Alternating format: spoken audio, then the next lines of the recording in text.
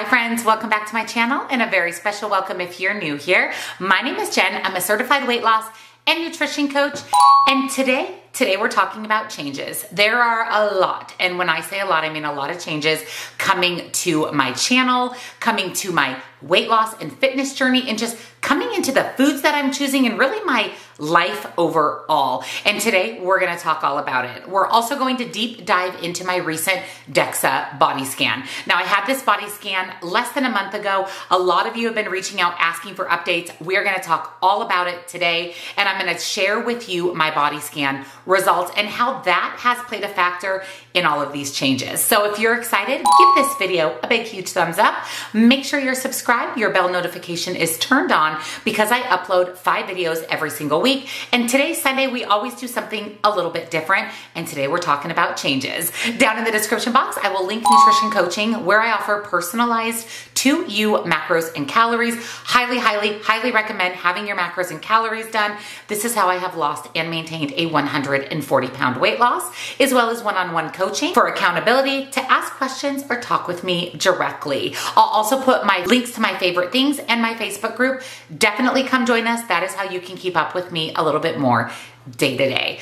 So let's dive in to the changes.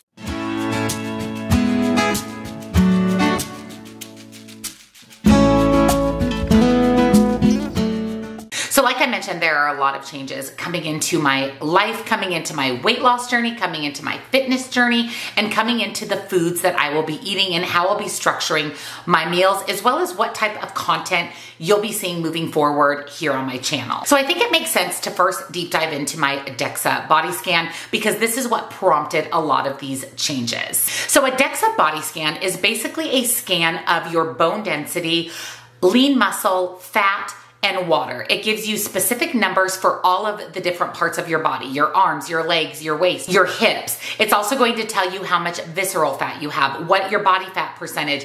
It even discusses the BMI. We'll get into that, of course. And it's going to tell you what your bone density is and kind of where you rank overall compared to other individuals, your same gender, same age, and same height. It is extremely, extremely accurate. When I had my DEXA body scan, they gave me a printout that showed an image of my body and basically what my body fat percentage and my BMI.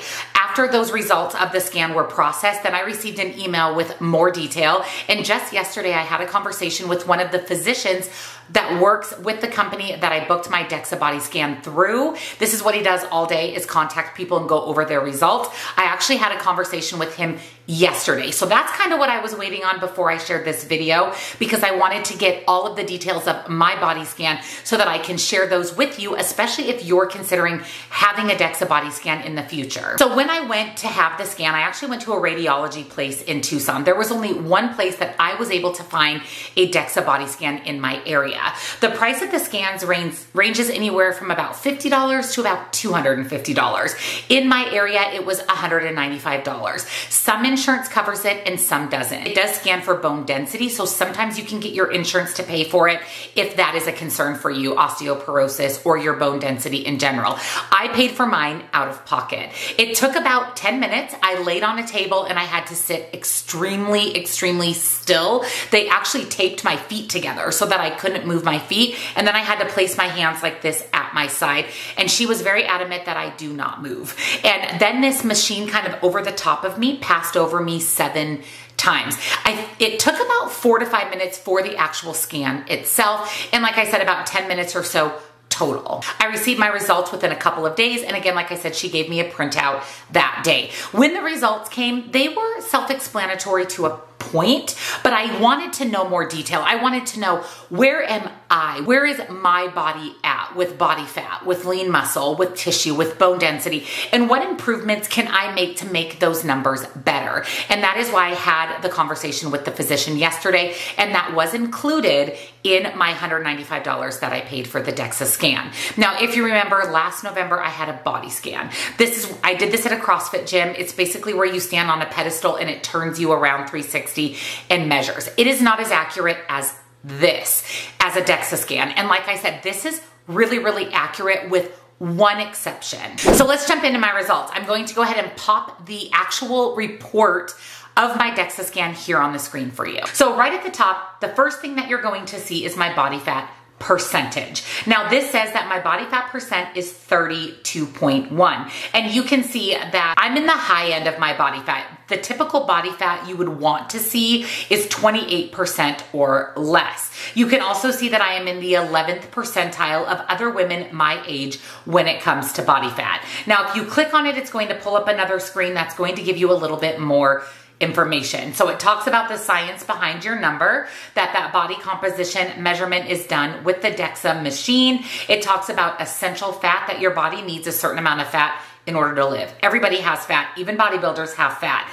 And kind of where your body stores fat. Is it stored in the gynoid or the android? The android is more your waist, the gynoid is more your hip. This also is the apple and pear shape that we typically refer to for body fat storage.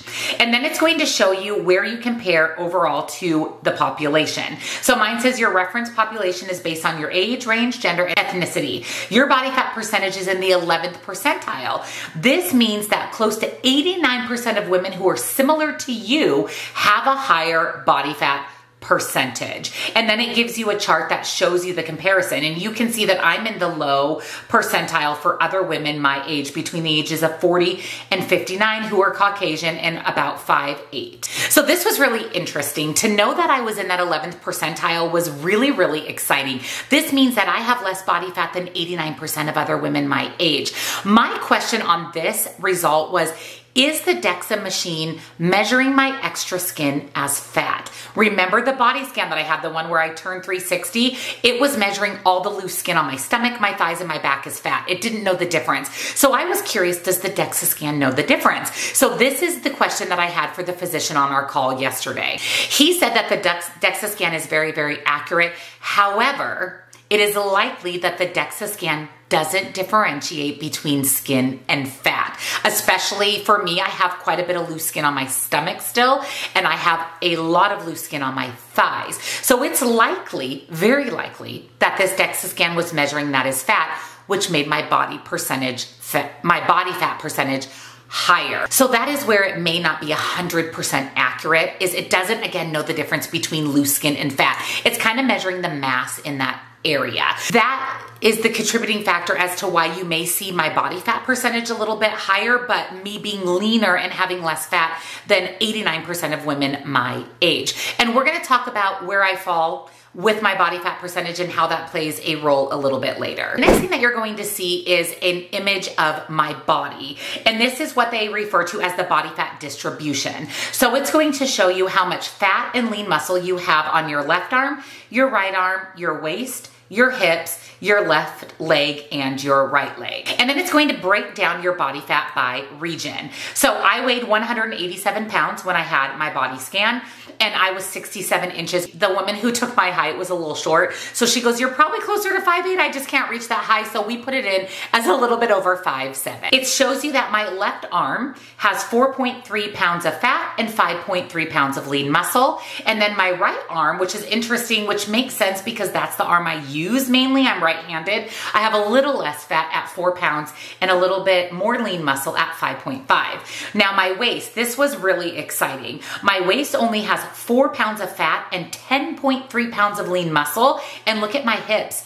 10 pounds of fat and 18.9 pounds of lean muscle. And then my legs were a little bit different as well, which I found interesting. My left leg was 12.3 pounds of fat and 21.3 pounds of lean muscle. And my right leg was 11 pounds of fat and 19.4 pounds of lean muscle. So my total fat mass on my body is 59.7 pounds. My total lean mass, basically lean muscle, lean tissue, is 121.4 and my total bone mass is 5.4 pounds. Now if you add all of that up, it equals about 187 pounds, which is my weight. Next up, you're going to see here on the screen, again, that mass breakdown. 59.7 pounds of fat, 121.4 pounds of lean muscle mass.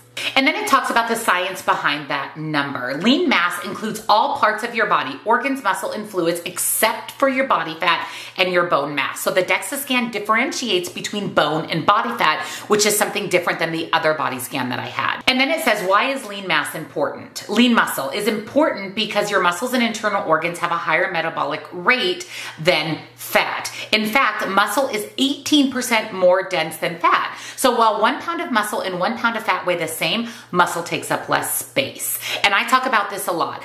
People are like, I can't believe you weigh what you weigh. You're so small because of lean muscle. Fat is this big, muscle is this big. I'm going to actually pop in a picture here, my favorite picture that shows that a pound's a pound. Pound of muscle, pound of fat, but look how much smaller lean muscle is than fat. So it takes up less space so you look smaller even though the scale doesn't show that. That is why we don't give all the value to the scale. We don't give really much value to the scale at all. So next up, you're going to see visceral fat or what is known as VAT. Visceral fat is the fat around your organ. So it's not the fat that you can feel like in your belly or your arms or your legs or your hips. It's the fat that surrounds your organs. It's really the fat that is most concerning, the fat that leads to multiple health issues. So the DEXA scan actually measures that as well, which is amazing. So you can see here that my VAT mass is 0.82 pounds and it's 24.66 in volume. Again, my waist breakdown that I only have four pounds of fat on my waist and 10.3 pounds of lean muscle. And then it again shows your visceral fat. It shows you an image of visceral fat versus abdominal muscles.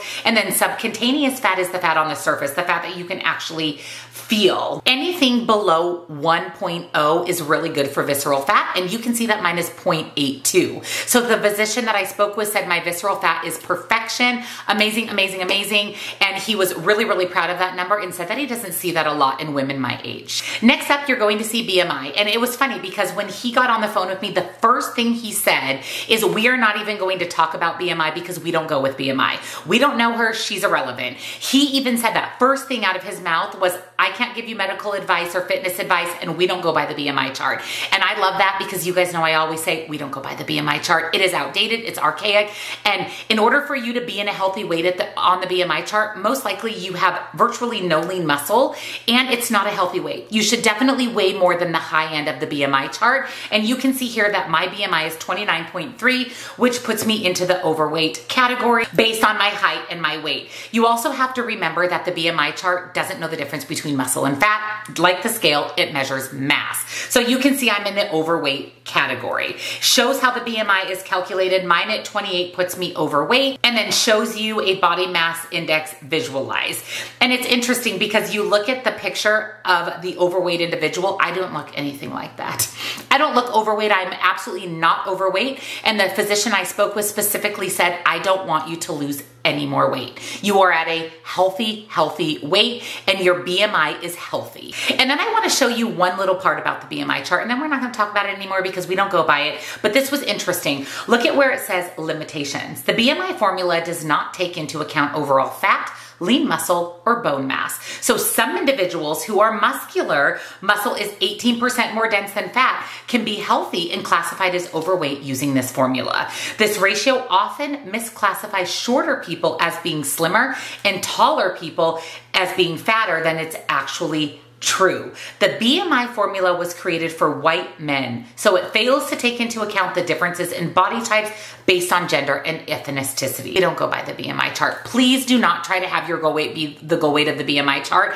I would need to lose between 20 and 25 pounds to be a healthy weight on the BMI chart, which is not a healthy weight for me. So find a goal weight, find a weight that you feel healthy about and forget about the BMI chart. And then last but not least, the DEXA scan measures your bone density. So this is going to tell you how strong your bones are and what risk of bone related diseases such as osteoporosis you are likely to have in the future. So you can see that my bone density was 1.2 which is in the high end of normal. It's going to show you your bone mineral density and then your Z score. So the science behind the Z score, it's a standard score that tells you how far from the average population is. A Z score of zero means that your bone mineral density is average for your age.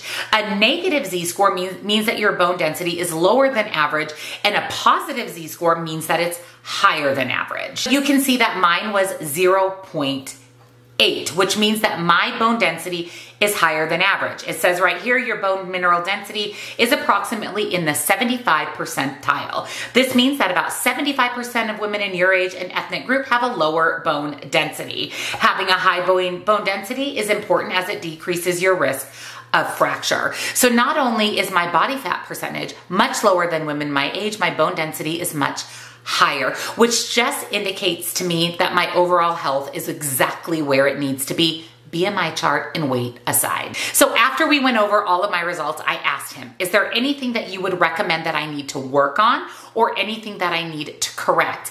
And this is where his response really just makes my heart so happy and really just literally made my day. The minute we hung up, I ran out in the kitchen and told Troy what he said because it's very special to me. It's very important to me. It's very exciting for me because coming from over 300 pounds and having a body fat percentage pushing 50% and being severely overweight to where I am today, and to have him say, there's nothing you need to do. Keep doing what you're doing. And then he said, I do these phone calls all day long. I talk to hundreds of people every month and I go over hundreds of people's results of their DEXA scan. And I have never in my his in the history of doing this job seen someone your age with as much lean muscle and low fat that you have. Whatever you're doing, keep doing. You are doing incredible. That literally almost brings tears to my eyes because it's been a long road. I've been overweight most of my life. I've struggled with my weight most of my life. I never ever thought that I would take the weight off and that I would be able to get to the fitness level that I'm at, where a physician who does this for a living says, you are exceptional. You are exceptional with your lean muscle mass. It is incredibly high for someone your age.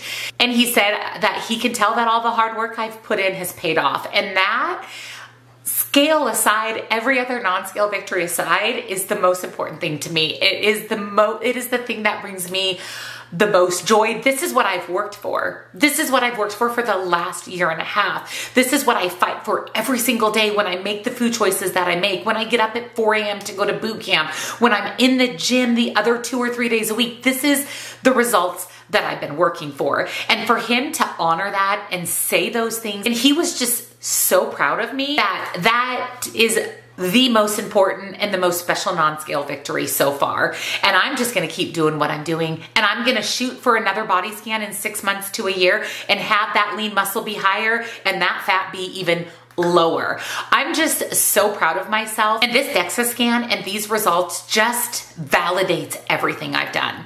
And it validates the choice to track macros and calories, the choice to eat more to lose weight, the choice to focus on calories and protein and moving my body. It's all paid off. And yesterday was one of the happiest days of my life on my weight loss and health journey. So having this DEXA body scan and the results of this DEXA body scan prompted another big change in my life. So you guys know that I had a fitness coach prior prior to having my cosmetic surgery back in May. When I signed up for surgery, I stopped working with my fitness coach and I haven't had a fitness coach since. But I'm at a stage now where I have a regular workout routine. I work out five to six days per week. I'm at boot camp three days a week. I'm in the gym. It's just part of my life. It's not something I have to schedule in anymore. It's not something I have to think about. It's just what I do. Now that I have these DEXA scan results and I know that my body fat is healthy, my body is healthy, I really want to focus on my fitness. I really want to, again, build that lean muscle and lean any body fat that I can out. I know I'm to have body fat. That number is always to be about where it is for body fat, but I want to build lean more. I want to really focus on building lean muscle, especially in my upper body. I've been blessed with pretty muscular legs, probably from carrying around over 300 pounds most of my life and just getting in a really good leg workout three days a week at boot camp, I really wanted to focus on my upper body. And I really, really wanted to have a clear picture of what foods in what quantities do I need to eat to reach those fitness goals. So I made the decision about three weeks ago to hire a fitness coach. Not the fitness coach that I had before, but a new fitness coach. Her name is Brenda and she is Roofs and Quads on Instagram. I will link her down below. And I know I'm gonna get this question about can I hire her? Yes, she is accepting new clients.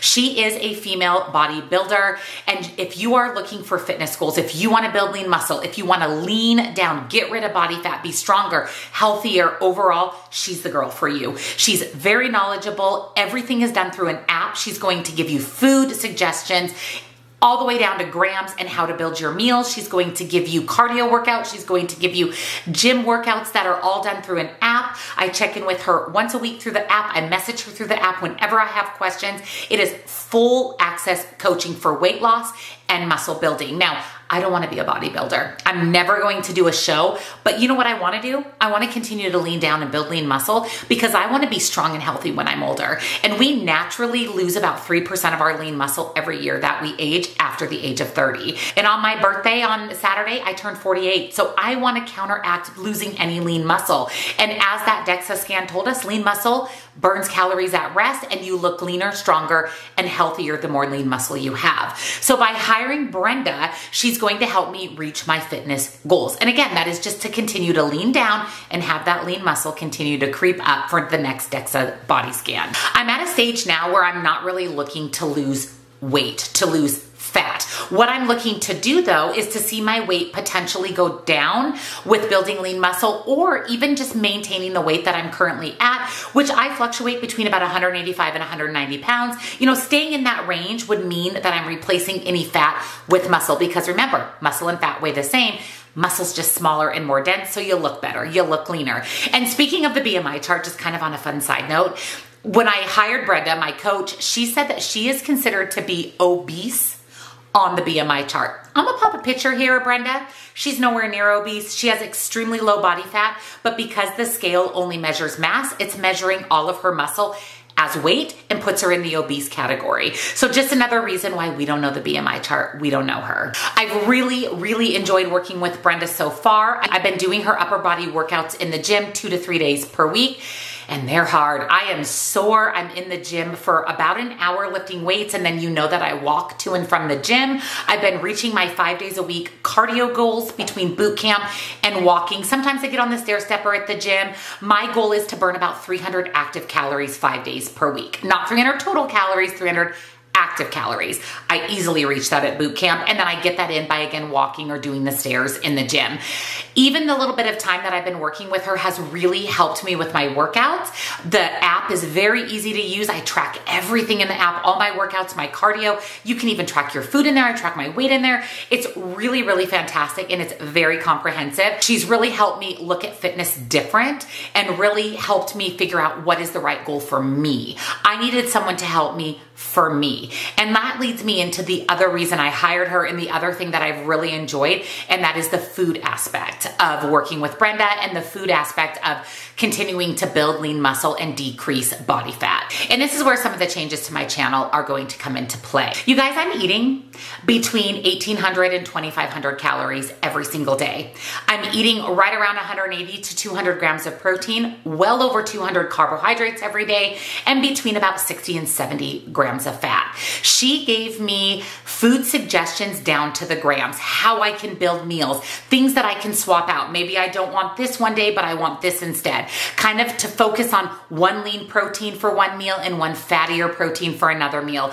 I'm allowed to have a treat meal every single week. I don't have to track it. I can have an appetizer, a meal, and a dessert, and I don't have to track that. And eventually I'll be able to have more than one treat meal per week. She has really helped me figure out how to build my meals that benefit my fitness goals and allowed me complete flexibility. When I traveled, she's like, enjoy your vacation, don't, don't track your food. So she just speaks right to my soul and her and I are on the same page with nutrition. Now, you know that I'm a weight loss and nutrition coach, so I know how to build meals. I know how to do my own macros and calories, but having her just give me food suggestions that help with fitness goals has been really important to me. So with those food suggestions, I do have specific things that are recommended for me to eat for meals and snacks.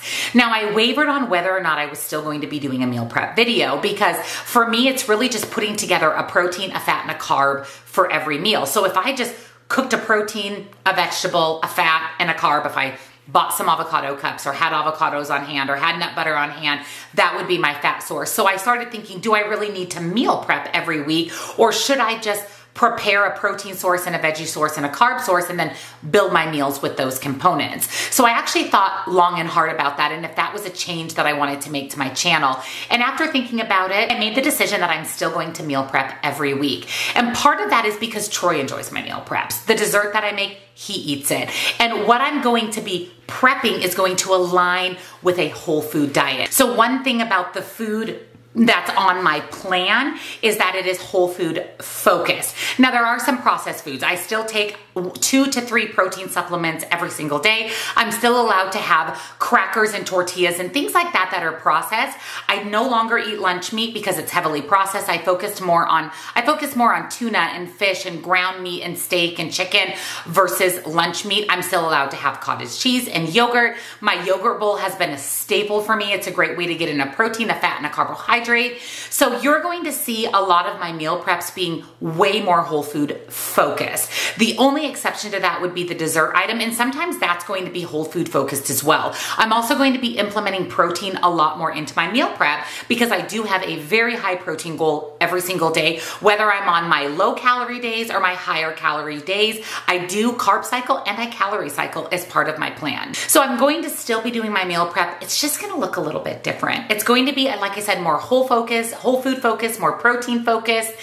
And I'm excited about it. And I know that you guys will be excited about it as well because a lot of you ask for more whole food ideas and more protein ideas. So plan on that coming your way in meal preps moving forward. You're also going to see my what I eat in a day videos on Wednesdays change as well. You're going to see firsthand what I eat on my food plan to reach my goals. Now remember, everybody's calories, macros, food plans, fitness goals are all different. But I'm excited to share with you what I'm eating to lean down, build muscle, and reach my fitness goals, which of course is going to help you guys with your weight loss and fitness goals as well. So you're going to see some changes in those what I eat in a day. It's just a lot less processed food, a lot more whole real food. And I will still be doing a weigh-in every Friday because like I said, I am looking to shed a little bit of excess fat and build a little bit more lean muscle. So I'm still going to be sharing a weigh-in with you every Friday. And then of course you'll have a grocery haul every Saturday and that may look a little bit different as well. Again, more whole food focused. And then lastly, change wise to my channel will be Sunday. So I put a video out every Sunday like this one that's a little bit different and unique. The topics of those videos may change a little bit more. I really wanna focus more on Sundays on informational videos on health and fitness and weight loss. I wanna talk about how I heal my relationship with food. I wanna talk about why protein is important. I wanna focus Sunday's videos on information for you guys to help you reach your goals.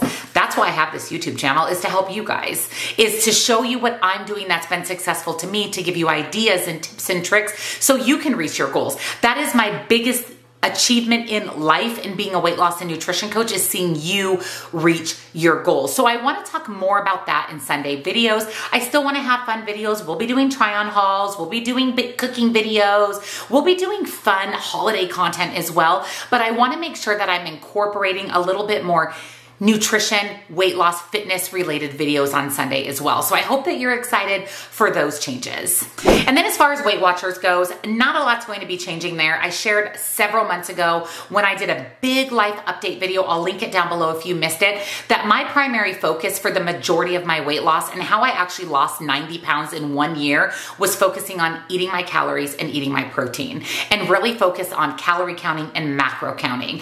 I track my Weight Watcher points one day per week. And that's the day that I film my what I eat in a day. However, I share Weight Watcher points in my grocery hauls. I share Weight Watcher points in my meal preps.